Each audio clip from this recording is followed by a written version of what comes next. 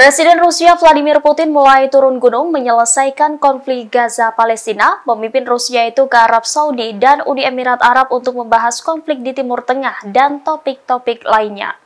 Putin melakukan perjalanan ke Uni Emirat Arab dan Arab Saudi pada Rabu 6 Desember 2023. Perjalanan Putin ke Timur Tengah ini merupakan pertama kalinya sejak perang Israel dan Hamas memanas pada 7 Oktober 2023.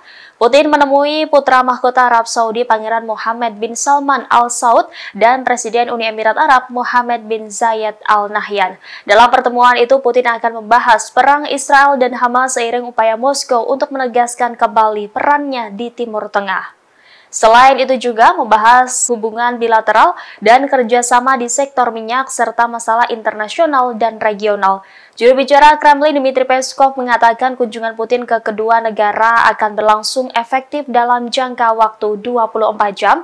Hal ini merupakan perjalanan kelima Putin ke luar negeri sejak pengadilan internasional ICC mengeluarkan surat perintah penangkapan terhadap dirinya atas tuduhan deportasi anak-anak Ukraina ke Rusia. Meski demikian, baik Arab Saudi maupun Uni Emirat Arab tidak menandatangani perjanjian pendirian ICC.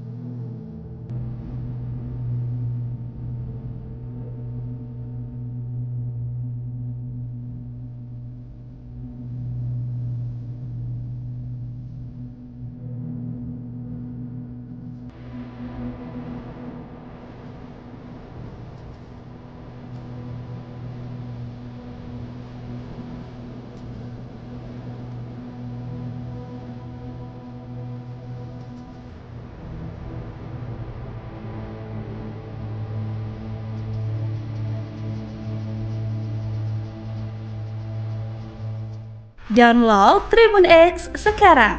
Menghadirkan lokal menjadi Indonesia.